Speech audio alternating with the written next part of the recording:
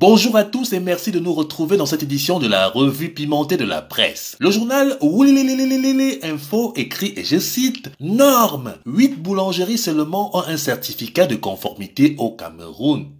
I say. S'exclame le journal Nouchia. Le journal Chien Nouvel International écrit, et je cite.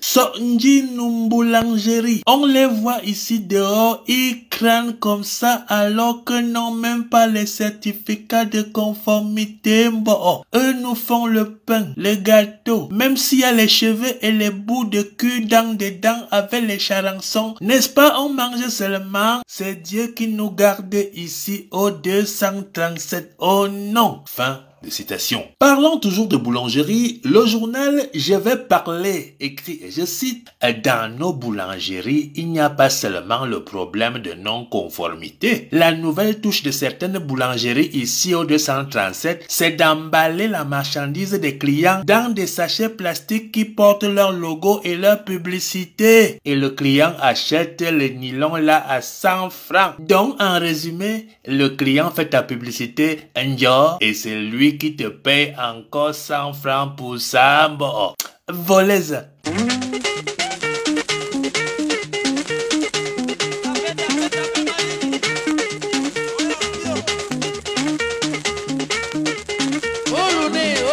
Oh,